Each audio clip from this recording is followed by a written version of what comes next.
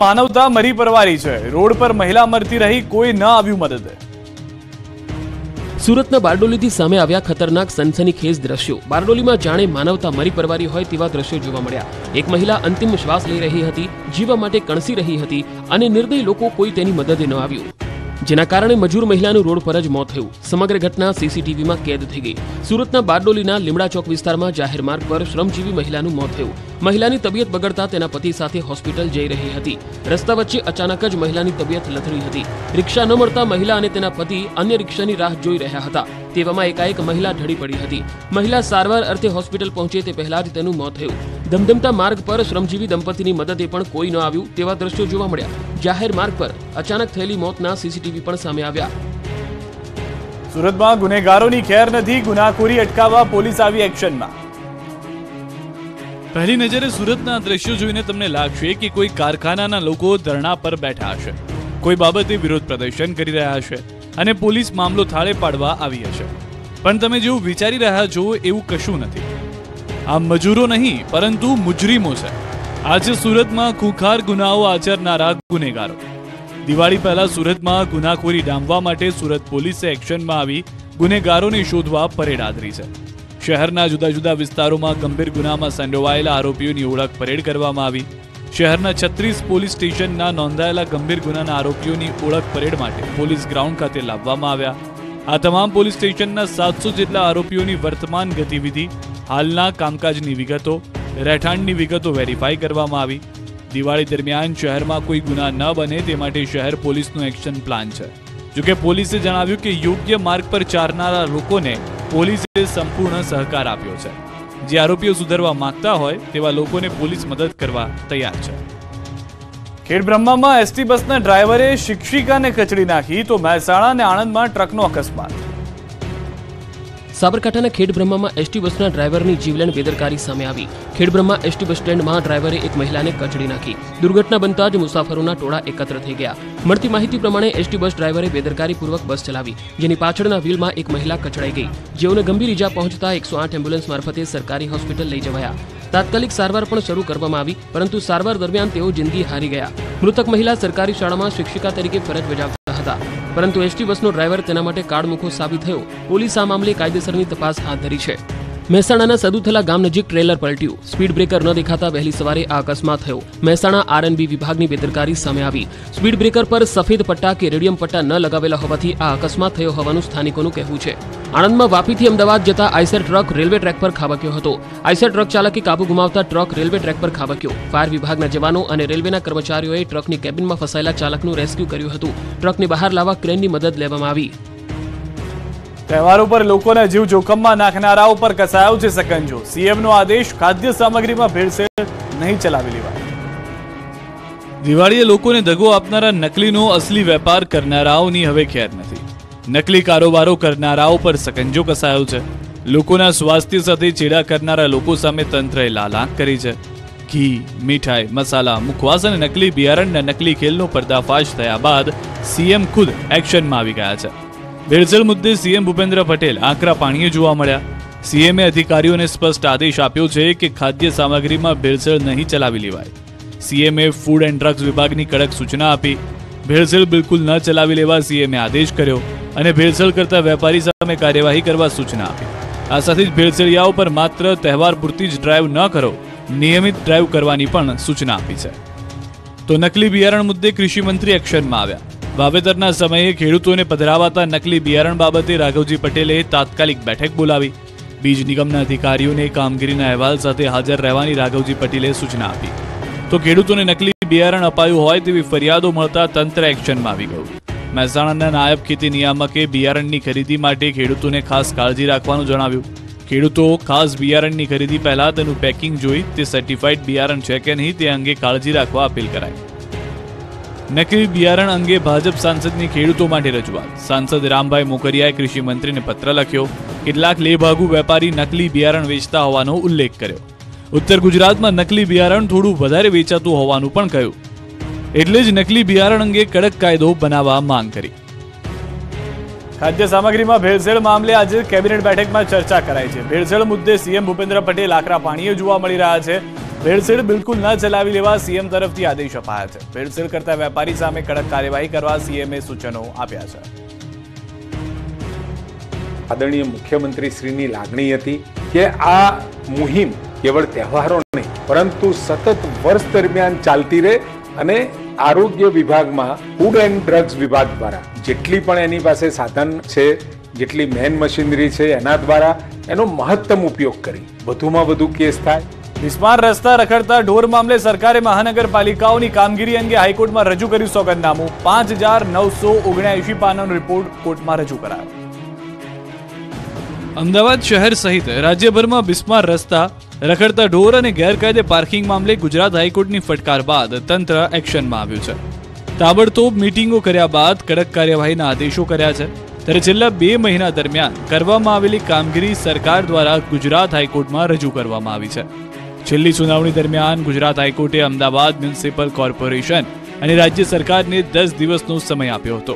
ત્યારબાદ આજે આઠ મહાનગરપાલિકા અને નગરપાલિકાઓમાં કરેલી કામગીરીનો વિસ્તૃત અહેવાલ કોર્ટના રેકોર્ડ પર મુકાયો, જેમાં સત્યાવીસ ઓક્ટોબરથી પાંચ નવેમ્બર સુધી કરાયેલી રાજ્યવ્યાપી કામગીરીથી કોર્ટને અવગત કરવામાં આવ્યા.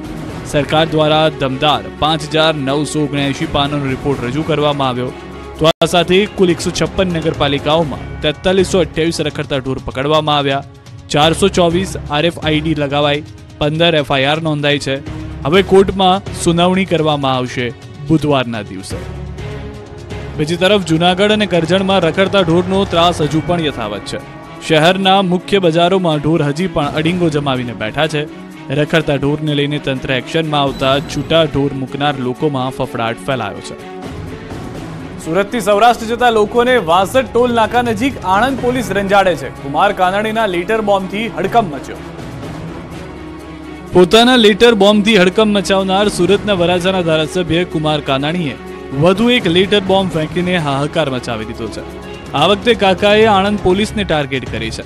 સુરતથી સૌરાષ્ટ્રમાં માદરે વતન જતા લોકોને આણંદ પોલીસ હેરાન કરતી હોવાની ફરિયાદ કરી છે. પોલીસ તોડબાજી કરવા સુરતીઓને હેરાન કરતી હોવાનો આરોપ લગાવ્યો છે. ધારાસભ્ય કુમાર કાનાણીએ ગૃહ રાજ્યમંત્રી હર્ષ સંઘવીને પત્ર લખ્યો છે. આ પત્રમાં કુમાર કાનાણીએ લખ્યું છે કે વાસઠ ટોલ નાકા પછી સુરત પાર્સિંગની કાર માલિકોને પોલીસ દ્વારા હેરાનગતિ કરવામાં આવી રહી છે. પત્રમાં ઉલ્લેખ કરાયો છે કે છેલ્લા કેટલાય સમયથી સુરતથી સૌરાષ્ટ્ર તરફ જતા ખાનગી ફોર વ્હીલરના માલિકો સાથે ટોલ નાકા પછી રોકવામાં આવે છે. ત્યાં આણંદ જિલ્લાની પોલીસ પંદરથી વીસના ટોળામાં ઊભી રહી ફોર વ્હીલર ગાડીઓ ઊભી રાખી, ગાડી ચેકિંગના બહાના હેઠળ વાહનોને સાઈડમાં ઊભા રખાવી ડોક્યુમેન્ટની માંગણી કરે છે. તોડબાજી કરવાના હેતુસર વાહન માલિકો સાથે ગેરવર્તણૂક કરવામાં આવતી હોવાનો આરોપ પણ લગાવ્યો. આ બાબતને ગંભીરતાપૂર્વક લઈ તાત્કાલિક ધોરણે યોગ્ય નિકાલ કરવા માંગણી કરી કુમાર કાનાણીના લીટર બોમ્બને લઈને આણંદ પોલીસ બેડામાં હડકંપ મચી ગયો. ત્યારે હવે આ બાબતે શું કાર્યવાહી થાય છે તે જોવું રહ્યું અને શું ખરેખર પોલીસ હેરાન કરે છે તેને લઈને પણ સવાલ ઉઠી રહ્યા છે.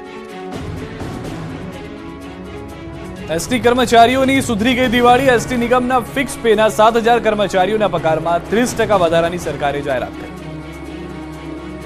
ગુજરાત એસટી નિગમના કર્મચારીઓની પણ દિવાળી સુધરી છે. ફિક્સ પગારના કર્મચારીઓના વેતનમાં થયેલા વધારાનો લાભ ગુજરાત એસટી નિગમના ફિક્સ પગારના કર્મચારીઓને પણ મળશે. આ નિર્ણય અંગે વાહન વ્યવહાર મંત્રી હર્ષ સંઘવીએ આ માહિતી આપી હતી. તેમણે કહ્યું હતું કે સરકારના નિર્ણયથી એસટી નિગમના સાત હજારથી વધુ ફિક્સ પગારના કર્મચારીઓને લાભ થશે. મહત્વનું છે કે તાજેતરમાં જ રાજ્યના ફિક્સ પગારના કર્મચારીઓના પગારમાં સરકારે ત્રીસ ટકા જેટલા વધારાનો નિર્ણય કર્યો હતો. જેમાં એસટી નિગમના કર્મચારી અંગે અસમંજસ હતી. ત્યારે હવે સરકારના નિર્ણયને આવકારીને એસટી નિગમના વિવિધ યુનિયનના હોદ્દેદારો તેમજ કર્મચારીઓ દ્વારા વાહન વ્યવહાર મંત્રીનું અભિવાદન કરી સન્માન કરવામાં આવ્યું હતું. આ મહત્વપૂર્ણ જાહેરાત કરતા વાહન વ્યવહાર મંત્રી હર્ષ સંઘવીએ જણાવ્યું હતું કે વાર તહેવાર ભૂલીને રાજ્યના પચીસ લાખથી વધુ પરિવારને યાતાયાતની સુવિધા પૂરી પાડવાનું ઉત્તમ કાર્ય કરતા એસટી વિભાગના સૌ કર્મચારીઓ અભિનંદનને પાત્ર છે. ગોંડલના એપીએમસીમાં ડુંગળીની ધૂમ આવક થઈ. થોડા દિવસોમાં છૂટક ડુંગળીના ઘટશે ભાવ. ગરીબોની ગણાતી કસ્તુરીમાં આગ જરતી તેજીના થોડા દિવસમાં શરૂ થઈ જશે વળતા પાણી. મોંઘી ડુંગળીના દિવસો હવે પૂરા થવામાં છે. કેમ કે રાજકોટ ગોંડલ એપીએમસીમાં ડુંગળીની ધૂમ આવક થઈ રહી છે. મોટી સંખ્યામાં ખેડૂતો ડુંગળી લઈને પહોંચતા ગોંડલ યાર્ડ બહાર વાહનોનો થપ્પો લાગ્યો. ગોંડલ માર્કેટ યાર્ડમાં ડુંગળીની આવકનો પ્રારંભ થવાની સાથે જ રોજિંદા પંચાવન હજાર કટ્ટાની આવક થઈ રહી છે. જેના કારણે ડુંગળીના ગોડાઉન પણ ભરચક જોવા મળ્યા. આ સાથે ડુંગળીની હરાજીમાં વીસ કિલો ડુંગળીના ભાવ રૂપિયા પાંચસો પચાસથી સાતસો રૂપિયા સુધીના બોલાયા. એક સપ્તાહ પહેલા ડુંગળીના વીસ કિલોના ભાવ રૂપિયા એક હજાર સુધીના બોલાયા હતા. હાલ ડુંગળીની પુષ્કળ પ્રમાણમાં આવક થઈ હોવાથી રાજ્ય બહારના વેપારીઓ પણ ડુંગળીની ખરીદી અર્થે આવે છે. ગોંડલ એપીએમસીમાં મહારાષ્ટ્ર, યુપી, રાજસ્થાન, મધ્યપ્રદેશથી ડુંગળીની ખરીદી કરવા માટે આવે છે. ડુંગળીની અઢળક આવક વચ્ચે ભાવમાં રૂપિયા અઢીસોથી ત્રણસો સુધીનું ગાબડું પડ્યું છે. વિદેશમાં ડુંગળીના ભાવને લઈને ચાલુ વર્ષે ભાવ ઊંચા જળવાઈ રહે તેવું વેપારીઓનું માનવું છે. ડુંગળીની અઢળક આવકના કારણે છૂટક બજારમાં ભાવ ઘટશે. જુનાગઢના કપાસ પકવતા ખેડૂતોની બેઠી માઠી. કપાસની મહેનત પડી માથે. જુનાગઢ માર્કેટ યાર્ડ સફેદ સોના સમાન કપાસની આવકથી છલકાઈ ગયું. જુનાગઢ માર્કેટિંગ યાર્ડમાં કપાસની આવક શરૂ થઈ છે. જુનાગઢ માર્કેટિંગ યાર્ડમાં કપાસની હરાજીના શ્રી ગણેશ થયા. આ વર્ષે કપાસનું ઉત્પાદન વહેલું થતા ખેડૂતોની માંગને ધ્યાનમાં રાખી દિવાળી પહેલા જ હરાજી શરૂ કરી દેવામાં આવી. પ્રથમ દિવસે માર્કેટિંગ યાર્ડમાં એકસો પચાસથી વધુ કપાસની બોરીઓ આવી. ખુલ્લી હરાજીમાં વીસ કિલો કપાસનો ભાવ ચૌદસોથી સોળસો રૂપિયા બોલાયો, જે ગત વર્ષ કરતા એકસો પચાસથી બસો રૂપિયા જેટલો ઓછો છે, જેથી કપાસના પૂરતા ભાવ ન મળતા ખેડૂતો નિરાશ થયા. વેપારીઓનું કહેવું છે કે કપાસ બગડી ગયેલો છે. સારી ગુણવત્તા ન હોવાથી ભાવ ઓછા મળી રહ્યા છે. તો બીજી તરફ ખેડૂતોને નુકસાન જઈ રહ્યું છે. ભાવનગર માર્કેટિંગ યાર્ડમાં હરાજી બંધ રહેતા ખેડૂતોએ હોબાળો મચાવ્યો. ધર્મનો ધક્કો થતા ધમાલ થઈ. ભાવનગર માર્કેટિંગ યાર્ડના સત્તાધીશોના વાકે ખેડૂતોને ધરમનો ધક્કો થયો. વહેલી સવારે કડકડતી ઠંડીમાં ઉઠી કામ મૂકી માર્કેટ યાર્ડ સુધી આવ્યા. જ્યારે યાર્ડ પહોંચ્યા ત્યારે ખેડૂતોને ખબર પડી કે યાર્ડમાં હરાજી બંધ છે. તો ધમાલ મચી ગઈ. હરાજી બંધ રહેતા ખેડૂતોએ હોબાળો મચાવ્યો. જણસ વેચવા આવેલા ખેડૂતોને માર્કેટ યાર્ડમાં આવ્યા બાદ ખબર પડી કે હરાજી અચોક્કસ મુદત માટે બંધ રાખવામાં આવી છે. જેને લઈ ભારે રોષ જોવા મળ્યો. ખેડૂતોએ યાર્ડના સત્તાધીશો પર ગુસ્સો ઠાલવ્યો. કપાસ, મગફળી અને ડુંગળી લઈને પહોંચેલા ખેડૂતોએ માર્કેટિંગ યાર્ડમાં હલ્લાબોલ કર્યો. હરાજી બંધ કરવા પાછળ જાણવા મળ્યું કે જણસના વજનમાં પાંચસો ગ્રામથી એક કિલો સુધી ઘટ કપાતને લઈને વિવાદ વકર્યો. આ પ્રશ્નને લઈ Bhavnagar marketing yard, Talaja marketing yard અને મહુવા માર્કેટિંગ યાર્ડની હરાજી સંપૂર્ણપણે બંધ રાખવામાં આવી. ખેડૂતોની જણસનું વજન કપાય છે, જેના કારણે ખેડૂતોને નુકસાની વેઠવાનો વારો આવે છે. આ તરફ ખાતર મુદ્દે રાઘવજી પટેલનું મહત્વનું નિવેદન, રાજ્યમાં ખાતરની નહીં સર્જાય અછત. ખાતરનો જથ્થો હજીરા પોર્ટ પર ઉતારેલો છે. હાલ કેન્દ્ર તરફથી ખાતરનો જથ્થો હજીરા પોર્ટ પર ઉતારેલો છે. કેન્દ્ર સરકારે તેમાંથી ગુજરાતને ખાતર ફાળવવાની ખાતરી આપી છે. એટલે હવે કોઈ અછતની સ્થિતિ રહેશે નહીં. ઉતરેલા કુલ જથ્થામાંથી એક જીએડી અને બે એનપીકે ખાતરના કેન્ટ કેન્દ્ર સરકાર ગુજરાતને આપશે. ખાતરની માંગને લઈને કેન્દ્રીય મંત્રી મનસુખ માંડવિયા સાથે વાતચીત થઈ છે.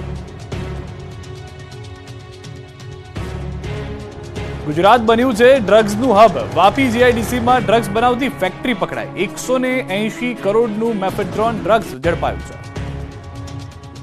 ગુજરાતમાં ફરી એકવાર ડ્રગ્સના નશાનો વેપાર ઝડપાયો. ડીઆરઆઈએ ચોક્કસ બાતમીના આધારે આજે વાપી જીઆઈડીસીમાં વિવિધ સ્થળોએ સર્ચ ઓપરેશન હાથ ધર્યું હતું, જેમાં પ્રાઇમ પોલિમર ઇન્ડસ્ટ્રીઝ ફેક્ટરીમાંથી રૂપિયા એકસો એંસી કરોડનું મેફેડ્રોન ડ્રગ્સ ઝડપી પાડ્યું. આ ઉપરાંત ડીઆરઆઈએ કંપનીના માલિકના ઘર અને ઓફિસે પણ રેડ પાડી હતી, જેમાં એક આરોપીના ઘરમાંથી અઢાર લાખ રૂપિયાની રોકડ પણ હાથ લાગી છે. આ નાર્કોટિક્સ, ડ્રગ્સ અને સાયકોટ્રોપિક પદાર્થોનું ગેરકાયદેસર બજાર મૂલ્ય એકસો એસી કરોડથી વધુનું હોવાનું જાણવા મળ્યું. અગાઉ મહારાષ્ટ્રથી પણ પકડાઈ હતી ફેક્ટરી. અગાઉ જપ્ત થયું હતું ચારસો કરોડનું ડ્રગ્સ. હવે વાપીમાં મોટી કાર્યવાહી કરવામાં આવી. ડીઆરઆઈ અમદાવાદ, સુરત અને મુંબઈની ટીમે કરેલા જોઈન્ટ ઓપરેશનમાં ત્રણ ડ્રગ્સ માફિયાઓની ધરપકડ કરાઈ. તપાસમાં સામે આવ્યું કે ત્યારે રાત્રિના સમયે ડ્રગ્સ બનાવીને ટ્રાન્સપોર્ટમાં અન્ય માલ સામાન ભરીને ડ્રગ્સ અન્ય રાજ્યોમાં સપ્લાય કરવામાં આવતું હતું. ખાસ કરીને દિલ્હી, પંજાબ, હરિયાણા, મધ્યપ્રદેશ અને દરિયાઈ માર્ગે વિદેશમાં સપ્લાય કરાતું હતું. સપ્લાય કરવામાં આવતા ડ્રગ્સની ઇન્ટરનેશનલ માર્કેટમાં એક હજાર કરોડની કિંમત થવા જાય છે. ગુજરાતમાં એમડી ડ્રગ્સનો સપ્લાય મુંબઈ અને દિલ્હીથી કરવામાં આવે છે. તો સુરતના પલસાણામાંથી ગાંજો ઝડપાયો. જોડવામાં ફ્લેટમાંથી એક કિલો આઠસો ગ્રામ ગાંજો જપ્ત કરાયો. બાતમીના આધારે શિવાલિક રેસિડેન્સીમાં તપાસ કરવામાં આવી. પોલીસે એકતાળીસ હજારથી વધુનો મુદ્દામાલ કબજે કર્યો. ગાંજાના જથ્થા સાથે બે આરોપીઓ પકડાયા છે, જ્યારે એક વોન્ટેડ જાહેર કરાયો. અમદાવાદ ક્રાઇમ બ્રાન્ચે અફીણના જથ્થા સાથે બે આરોપીની ધરપકડ કરી. બંને આરોપીઓ સાથે મળી અફીણનો જથ્થો અમદાવાદ લાવી વેચતા હોવાનું નક્કી કર્યું હતું. પોલીસે કુલ ચાર કિલો નવસો એકતાળીસ ગ્રામ અફીણનો સેમી સોલિડ જથ્થો જપ્ત કર્યો.